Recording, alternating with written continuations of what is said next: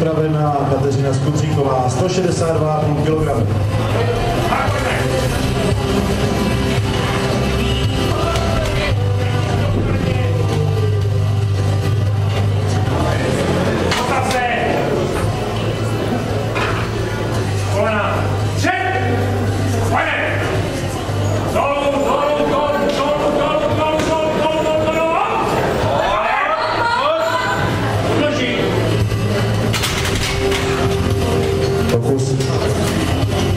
Blatný 2-1.